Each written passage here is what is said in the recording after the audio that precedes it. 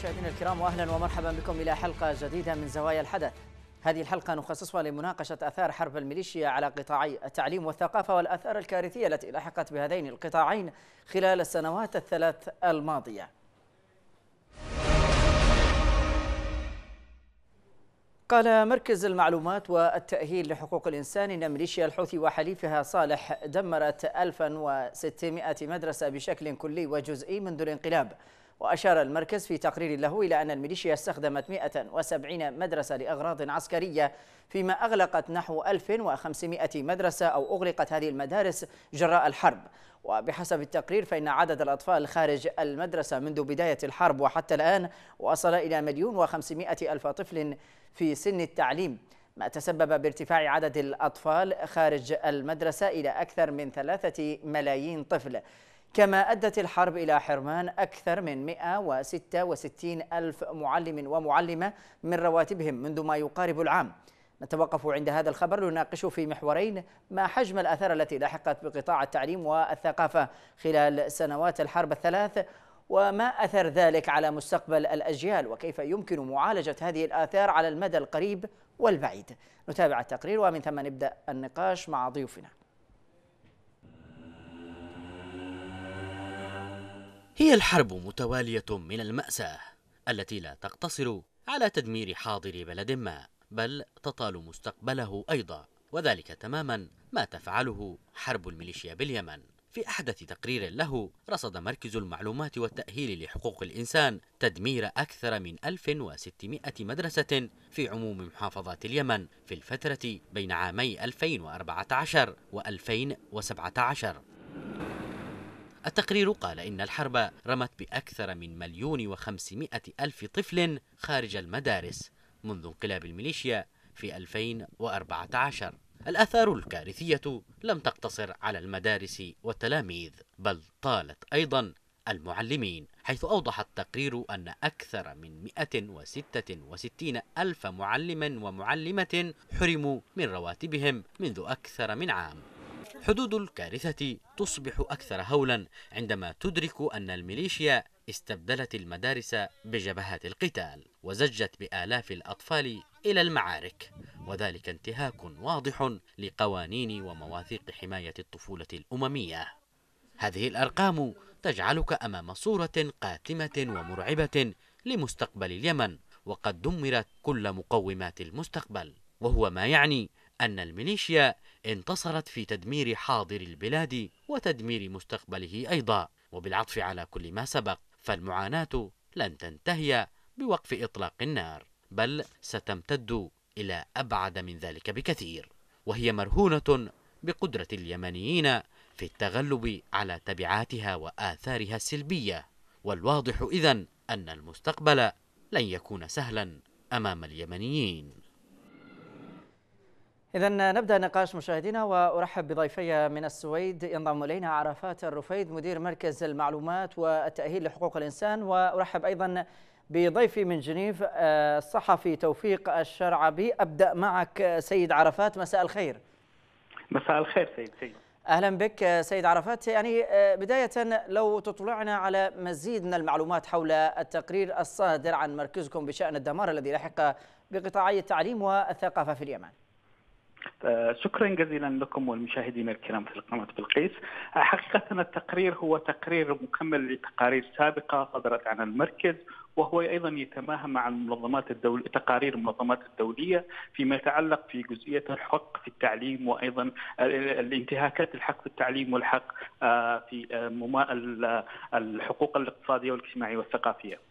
نعم. كثير من هذه التقارير صدرت خلال السنوات الماضية التي رصدت بشكل أساسي الانتهاكات التي مورست آه، من قبل ميليشيات الحوثي وصالح نعم. وأيضا الانتهاكات التي تعرضت لها المؤسسات التعليمية والثقافية في اليمن خلال السنوات الماضية نعم. آه مثل ما ذكر التقرير وأنتم آه فصلتم بشكل كبير هذا التقرير والأرقام المهولة والمفجعة فيما يتعلق في آه مستقبل اليمن في مسألة الواقع التعليمي وأيضا الثقافي نحن أمام مشهد مأساوي وأيضا لا نقول ولكن دائما العملية التعليمية ومؤسساتها ومناهجها الدراسية انتهكت بشكل مستمر على يد هذه الميليشيات. نعم. وأيضا الدراسة أوقفت بشكل كامل في بعض المناطق. النزوح اجتياح الحوثيين لكثير من المدن سبب على عملية توقف التعليم. وأيضا لدينا الآن المشاهد الجديدة فيما يحصل في الساحل الغربي في في وخاصة في مدينة الحديدة والمديريات التابعة لها. نعم إذا تكرم بالبقاء معي سيد عرفات. أذهب لضيفي من جنيف الصحفي توفيق الشرعبي. سيد توفيق مساء الخير. أهلا مساء الخير. أهلا بك سيد توفيق. يعني كان لك تقرير حول آه، وضع التعليم في اليمن قدمته لمجلس حقوق الإنسان بجنيف. ما الذي ورد في هذا التقرير؟ اولا من من المؤسف أن أن تكون اليمن حاضرة في آه، مجلس حقوق الإنسان في الدورة الثامنة والثلاثين لكن بشكل عكسي. بمعنى أن اليمن ربما تصدرت الأرقام أرقام الانتهاكات سواء في مجال حقوق الإنسان بشكل عام أو في مجال التعليم أو في مجال الصحة. نعم. أنا تطرقت في ورقتي إلى ما شهده قطاع التعليم من الجرائم والانتهاكات التي ارتكبتها ميليشيا الحوثي والتي كان من أهمها تجنيد طلاب المدارس ونهب مرتبات المعلمين إضافة إلى تدمير عشرات المدارس وتحويلها إلى سكنات عسكرية. الميليشيا بحسب الأرقام التي وصلت تسببت في إغلاق وتدمير أكثر من 3500 548 مدرسة إضافة إلى تغيير المنهج التعليمي بمنهج طائفي يكرس الانقسام داخل المجتمع. أشرت في الورقة أيضا إلى تسرب أكثر من أربعة ملايين طالب وطالبة خارج الصفوف الدراسية بسبب الانقلاب. أشرت أيضا إلى أن الميليشيا قامت باستبدال المدرسين نعم. وتهديد آخرين والاعتداء على المعلمين الذين يطالبون برواتبهم أو يقومون بالإضراب عن التدريس وهذا حصل في عدة محافظات.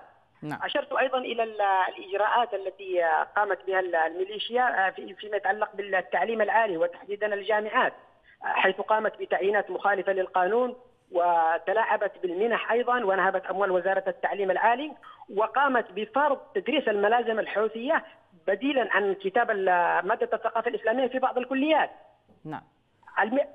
أيضا تطرقت في الورقة إلى واقع التعليم الفني والتدريب المهني في عهد الميليشيا الحوثيون استولوا على صندوق تنمية المهارات التابع لوزارة التعليم الفني وقاموا بعملية استخدام موارده كجباية من القطاع الخاص نعم. تم تحصيل أكثر من 16 مليار ريال خلال العام 2017 وتم صرفها تحت مسميات المجهود الحربي والاحتفال بذكرى الشهداء والعدوان ومساعدة الشهداء. طبعا أريد أن أذكر أن هذه الإحصائيات التي قدمتها نعم. ليست عبارة عن أرقام محلية. هذه الأرقام تطابقت مع آخر تقرير لمنظمة الأمم المتحدة للطفولة اليونيسف. كشفت أنه تم إغلاق 3500 و84 مدرسة بسبب المخاطر الأمنية أو لتحويلها لسكنات عسكرية من قبل ميليشيا الحوثي كذلك تعرض نحو 22 آه، جامعة حكومية وأهلية لأضرار مباشرة وغير مباشرة وحرمان الميليشيا لأكثر من 2 مليون طالب من التعليم. نعم. لكن آه، هل هذا التقرير كان آه، يعني ينسب هذه الانتهاكات على أن أطراف الصراع كما آه، يذكر كل مرة أم أنه يعني حدد الطرف المتسبب بذلك كما ذكرت في التقرير أنه ميليشيا الحوثي؟ لا هناك هناك انتهاكات أيضا تقوم من بعض الأطراف، هناك مثلا جماعات مسلحة في مدينة تعز لا تزال تحتل المدارس حتى هذه اللحظة، على سبيل المثال مدرسة نعم. نعمار التام كنموذج، هناك أيضا مدارس تدمرت في المناطق الحدودية اي مناطق التماس بين وجود الميليشيا والجيش الوطني مثلا في مدينة تعز والبيضاء، هذه المدارس يتحمل مسؤوليتها الطرفين، لكن نعم. لا يمكن أن نلوم دولة مقابل أن تلوم ميليشيا، الميليشيا هي المتسببة حتى وإن أخطأت الدولة أو أخطأ الجيش الوطني. إلا أن الميليشيا هي من تتحمل التبعات لأنها كانت السبب. هي المتسببة في الحرب. بالفعل، اذا سأعود إليك آه، سيد توفيق. أذهب لي آه، ضيفي الآخر عرفات الرفيد مدير مركز المعلومات والتأهيل لحقوق الإنسان. يعني سيد عرفات ما هي آه، المحافظات التي كانت أكثر تضررا في قطاعي التعليم والثقافة؟ آه، خليني أقول بشكل رئيسي أن الهدف الرئيسي أساسا لميليشيات الحوثي خلال المرحلة الماضية كان هو تغيير المناهج الدراسية وأيضا آه، نحن نعرف أن هناك الآن خطابات توعوية يومية لعبد الملك الحوثي في مؤسسات التربوية والتعليمية بشكل رئيسي. تغيير المنهج بخطاب عنصري طائفي وتعزيز شعار الصرخة المعادية للشعوب والأديان ووضع نعم. المعلمين والتربويين أيضا هذه كانت لها الأثر الإيجابي السلبي على هذه المؤسسات التعليمية والثقافية دعني أقول بأن المحافظات بشكل رئيسي التي ما زالت تحت سيطرة هذه الميليشيات آه، متضررة من صنعاء إلى ذمار إلى محافظة إب أيضا محافظة الحديدة آه، أجزاء من محافظة تعز. هذه أيضا تعرضت للمدارس واستخدمت كمخزون لتجنيد هذه الأطفال في ميليشياتهم نقول إنه بعض الرواتب الغير لاهالي آه، أسر الأطفال من يعني تجنيدهم براتب شهري آه، سلاح وهذه أيضا كانت جزئية في مسألة تجنيد الأطفال من خلال المؤسسات التعليمية. الشيء نعم. الثاني في في في في, في, في هذه الموضوع يتعلق في آه، الرواتب المعلمين يعني نحن نعرف بأن رواتب المعلمين خلال الفترة الماضية لأكثر من عام لم تصرف من قبل هذه الميليشيات الحوثي وصادرت تحت مسمى المجهود الحربي. وأيضا الشيء الآخر استخدام هذه المؤسسات التعليمية والثقافية كم كمخازن للسلاح كمعتقلات من كافة أطراف النزاع الموجودة في اليمن. نعم. هناك أيضا ضربات جويه قصفت بعض المدارس. كل هذه الأشياء تضررت؟ وكانت النسب متفاوتة من محافظة إلى محافظة حسب اشتداد المعارك. نعم. في محافظة تعز هناك الأثر السلبي الكبير على محافظة تعز فيما يتعلق في المدارس. محافظة آه، أيضا المحافظات الشمالية الشماليه في صعداء في حقه في آه، مناطق الصراع والخط الاشتباكات في محافظة مارب والجوف آه، كل هذه المدارس تضررت بشكل جزئي وبشكل آه، آه، كلي وتم إيقاف الدراسة والتعليم فيها في محافظة صعدة وحقه ومناطق نعم. مثل ريما ومحافظة إب إذا ابقى معي سيد عرفات. أعود لسيد توفيق الشرعبي. يعني سيد توفيق كيف ينظر المجتمع الحقوقي لهذه الانتهاكات خصوصا أن هناك أدوات للتشويه وأيضا أدوات للميليشيا تعمل آه، على آه، يعني تشويش الصورة أمام المجتمع الحقوقي في المحافل الحقوقية. آه، طبعا هذه بالنسبة لي هدف الميليشيا، هدف الميليشيا هو هدفين، هدف تدمير داخلي وتدمير أخلاقي وقيمي اضافه إلى عملية تشويه للصورة السيئة التي رسمت عليهم أمام العالم لكن هناك جهود من قبل الحقوقيين والمنظمات. هناك اليوم إحدى المنظمات لا أتذكر اسمها قامت بإصدار تقرير متكامل من أكثر من 280 صفحة شرحت فيها الأوضاع وخصصت آه، آه، جزء كبير منه لعمل للعملية التعليمية. أنا ما لفت انتباهي في الدورة الثامنة والثلاثين لمجلس حقوق الإنسان. نعم. أن التركيز بدرجة أساسية أولى هو على مدينة الحديدة. ليكن مدينة لتكن مدينة الحديدة هي الحاضرة الأبرز في كل شيء. في جانب التعليم تم اليوم التطرق إلى أن أكثر من أكثر من تقريبا 75 ألف طالب في مدينة الحديدة الآن في المدينة لا يعرفون أين أين ستكون اختباراتهم بمعنى أنهم قد يحرمون من سنة كاملة. لا, لا توجد منظمة دولية تتميز بالنظافه ومشهود لها بالكفاءة. نعم. ستقوم بالتعامل مع كل ما يطرحه الحوثيون. هم يحاولون لكن المنظمات ربما ما لاحظته هذه المرة أن الحضور الحوثي كان ضعيفا لأن الحجة لديهم أيضا هي ضعيفة. نعم لكن ما الذي قد يترتب آه، عليها من إجراءات؟ يعني قد يتخذها مجلس حقوق الإنسان هذه المرة. مجلس حقوق الإنسان ليس هذه المرة أيضا بمرات سابقة هو يتعامل مع الكل من منظور المحايد لكن عندما أنت تستطيع الوصول إلى إلى المقررين الخاصين في الجلسات وتقوم بعرض كل ما لديك من وثائق وأدلة وبعضها مصورة وبالأرقام وشهادات حية هم نعم. يكتفون برفع التقرير السنوي بناء عليه تتعامل المنظمات ومجلس الأمن الدولي لكن يكفي أن تظهر الصورة المشوهة للميليشيا أمام جميع المنظمات الحقوقية العالمية. هذا يعتبر أيضا مكسب. مهما مهما كانت نعم. مهما كانت النتائج تأتي متأخرة إلا أن المكسب كبير جدا. حضرت اليمن حضرت الأرقام حضرت الانتهاكات وحضر الوجه القبيح للميليشيا. نعم اذا أشكرك جزيلا الصحفي توفيق الشرعبي كنت معنا من جنيف. أعود لضيفي آه، عرفات الرفيد. يعني سيد عرفات كيف تمكنتم يعني من توثيق آه، الدمار الذي لحق في آه، التعليم؟ في مناطق سيطرة الميليشيا. عزيزي آه بشكل رئيسي هناك آه العديد من الراصدين الميدانيين آه للمركز وهناك أيضا متعاونين بشكل رئيسي من المنظمات الصديقة والشريكة معنا في مسألة الرصد وتوثيق انتهاكات حقوق الإنسان. نعم. أيضا هناك التقارير الدولية التي آه ترتبط بهذه الجزئية تم أخذها من ضمن التقارير آه التي تضمنها تقرير أيضا المركز. بشكل رئيسي كل هذه التقارير وكل هذه الأرقام هي أيضا ما تم توثيقها بشكل رئيسي أو التي تم تسجيلها وتوثيقها بالطرق الصحيحة لانتهاكات حقوق الإنسان والتي أيضا يمكن أن يتم تقديمها للجنة الخبراء في مجلس حقوق الإنسان في المفوضيه السامية لحقوق الإنسان أو ما يتم تقديمه للمنظمات الدولية. نعم، إلى أي مدى يعني حظيت أيضا الكوادر العاملة في مجالي التعليم و الثقافة باهتمامكم في هذا أو في سياق هذا التقرير؟ دعني أقول أنه نحن لم لم نقدر أن بعد يعني يعني تقدير حجم الأضرار بشكل مباشر على المؤسسة التعليمية وأيضا على المؤسسات الثقافية والأثرية.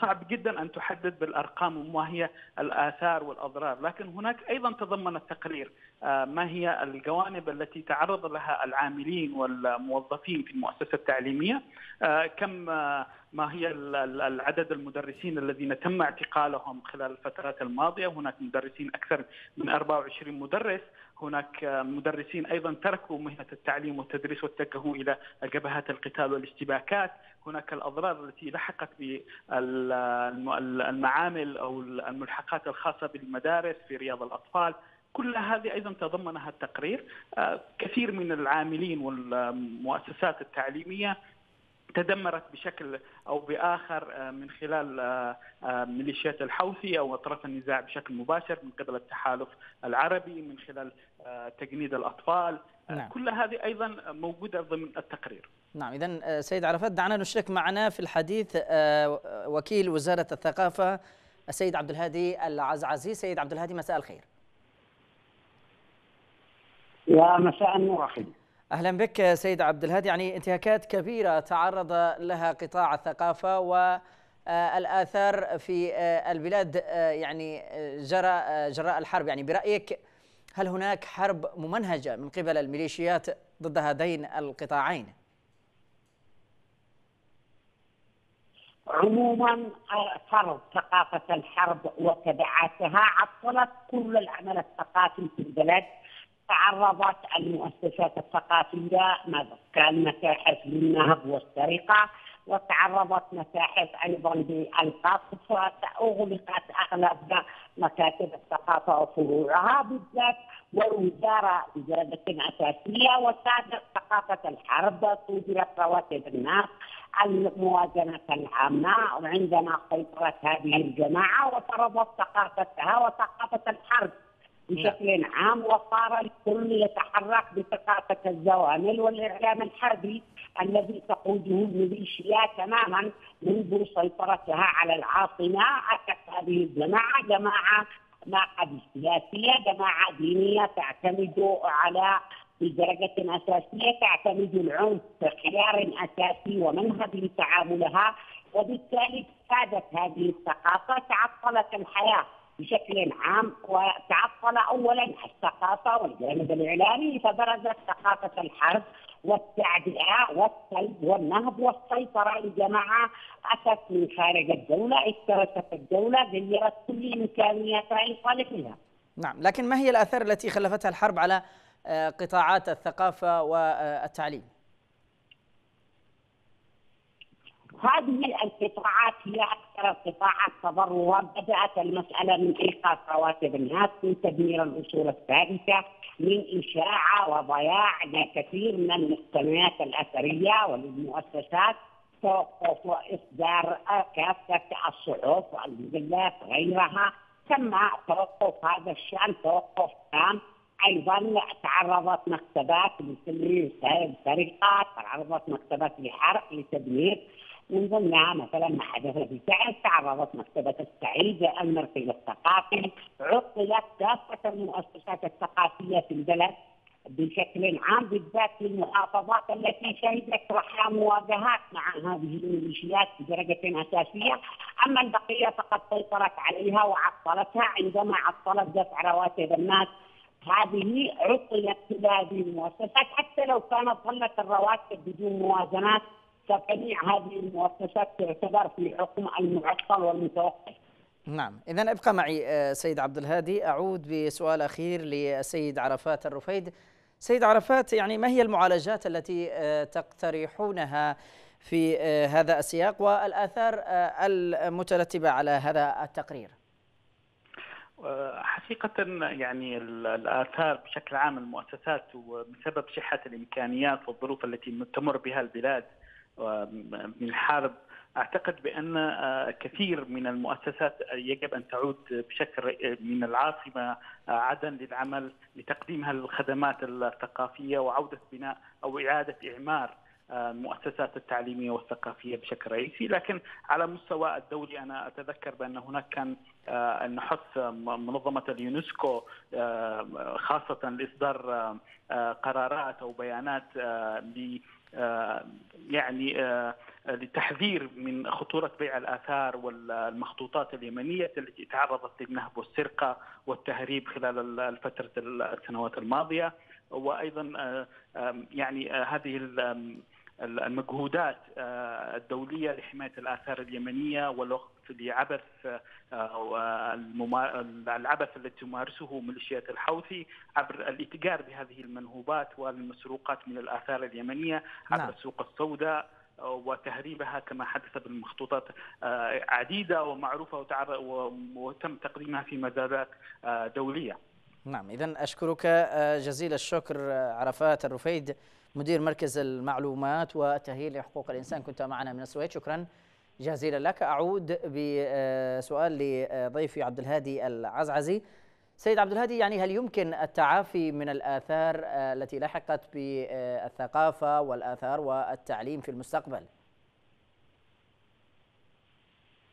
أعتقد بالنسبة للتعافي لكنه أكلف تم خطاب اليونسكو لإيقاف بيع أي من المصنفات الأثرية التي كانت موجودة أو بحسب درودات المتاحف اليمنية حتى لا يتم تهريبها. هذا كإجراء أولي لكننا بحاجة إلى ترميم لأغلب المؤسسات. تم إعادة بعض المؤسسات كالمكتبة الوطنية في عدن وبعض المؤسسات التابعة للوزارة في عدن وتم احياء معهد الفنون في عدن وأيضا هناك جهود لإحياء بقيه المتاحف في المحافظات الجنوبية وتم وضع موازنة تقديرية لترميم المتحف في تعز لكن لا زال هنالك بعض المقتنيات. ربما تعرض بعضها للحرق وبعضها أيضا ما زال في حكم ما ليس موجود حتى يعود إلى المتحف. ونعرف ما الذي فقد منه وما ظل. وبقيه المحافظات الخوف الكبير هو أن تتعرض المناطق المعلنة كما كمناطق مثلا كمناطق اثريه محميه من اليونسكو مثلا الخوف الآن متركز على متحف الحجيجه والجديد جديد. الآن هناك خوف كبير من أن تتعرض التدمير الميليشيات تسعى القوة إلى داخل هذه المنطقة ونخاف أن تتعرض جديد وهي مدينة مشكلة من حيث الترتيب. نعم. لكنها ضمن الأهمية المعلنة من قبل الأمم المتحدة وبالتالي هذه من قبل اليونسكو والخوف أن تتعرض للتدمير وهذه الفترة لا يرى لا لا تمتلك الوزاره صلاحيات بحكم أنها مسؤوله بشكل عام في لمراقبه أمام مقدار التغيير الذي تتعرض له بالذات مدينتي صنعاء وجديد نعم. وبقية المواقع الأثرية هناك الساعة هناك حفر هناك عشوائيات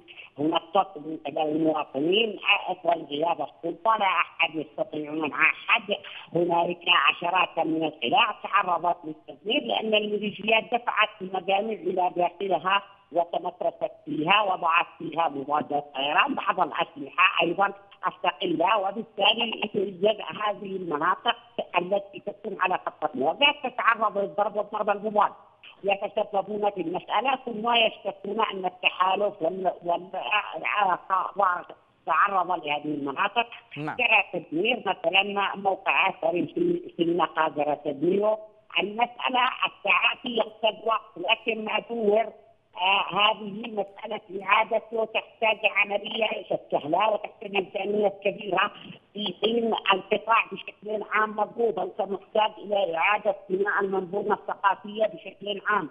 نعم. وهذه مسألة ليست سهلة وأيضا تحتاج كيف تتخلص من ثقافة الحرب وآثارها. وهذه مكلفة جدا.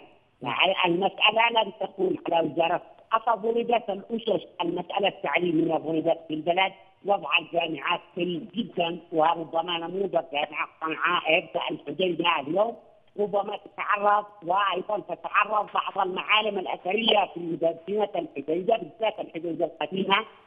هذا الصوت الكبير وبعض المواقع الأثرية وبعض المزارات الدينية على نعم. طول خط الساحل. إلى الآن لا نعرف ما الوضع الحقيقي لهذه الأماكن ما زالت أماكن مواجهات. نعم. إذا قسناها على حجم الثمار الذي حصل مثلا في تعز وعدن والمناطق فقد جرى تدمير ما نسميه بالاصول الثابتة. من وزاره الثقافة جرى تدميرها كمواقع أثرية أو وزارات دينية أو بعض أيضا حتى نخاف من أن تتعرض حتى المحميات الطبيعية محميه الزراعه وغيرها هذه جزء من المنظومة بشكل عام. نعم.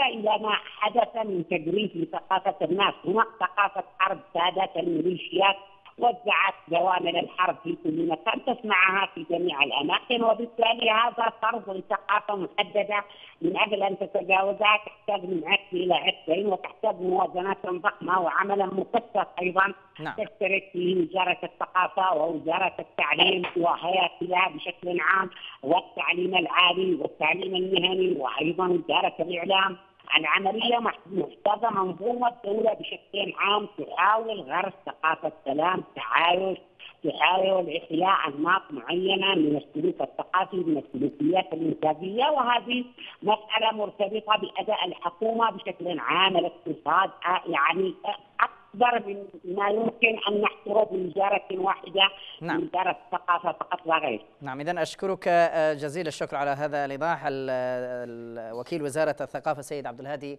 العز عزي كنت معنا من تعز شكرا جزيلا لك. مشاهدينا بهذا القدر نكتفي وأشكر أيضا ضيوفي كان معنا آه، سيد آه، توفيق الشرعبي صحفي كان معنا من جنيف و أشكر عرفات الرفيد مدير آه، مركز المعلومات وتأهيل حقوق الإنسان كان معنا من السويد. وفي الختام تقبلوا تحياتي وتحيات معد هذه الحلقة زميل ماهر أبو المجد وهي أيضا من جميع أفراد طاقم العمل. حتى نلتقيكم في حلقة قادمة. نترككم في رعاية الله وحفظه.